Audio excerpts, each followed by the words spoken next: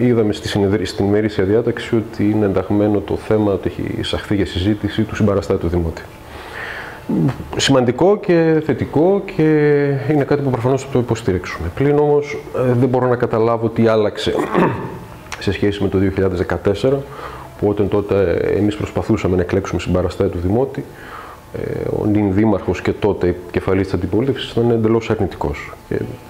φτάνει να τρέξει κανείς στις δηλώσεις του και στις αναφορές του Δημοτικού Συμβούλιο, που λέει ότι δεν υπάρχει ανάγκη να έχεις συμπαραστάτη του Δημότιο Δήμος, γιατί αυτή τη δουλειά μπορεί να την κάνουν οι Δημοτικοί Σύμβουλοι και αιρετοί. Ε, ίσως είναι μια ακόμα επιβεβαίωση της γνωστής ρίσης ότι η αντιπολίτευση λέμε καμιά κουβέντα παραπάνω, αλλά σε κάθε περίπτωση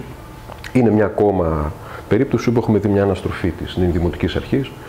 ε, και σε κάθε περίπτωση είναι σημαντικό για το Δήμο Κοζάνη. Μετά το πρώτο πετυχημένο εγχείρημα της παρουσίας συμπαραστάτη του Δημότη στο Δήμο της Κοζάνης στην περίοδο 2015-2019 ο Δήμος θα συνεχίσει να έχει ένα συμπαραστάτη του Δημότη ο οποίος θα ε, κάνει τη δουλειά του όπως πρέπει και επί της ουσίας θα συμβάλλει στην βελτίωση των υπηρεσιών του Δήμου, στην καλύτερη σχέση του Δήμου με τις υπηρεσίες, ε, στο να υπάρχει ένα καθεστώς διαφάνειας και αξιοκρατίας και σε κάθε περίπτωση αναμένουμε να δούμε και τις υποψηφιότητες και τους ανθρώπους που θα καταθέσουν υποψηφιότητα ώστε να επιλέξει το Δημοτικό Συμβούλιο τον καταλληλότερο.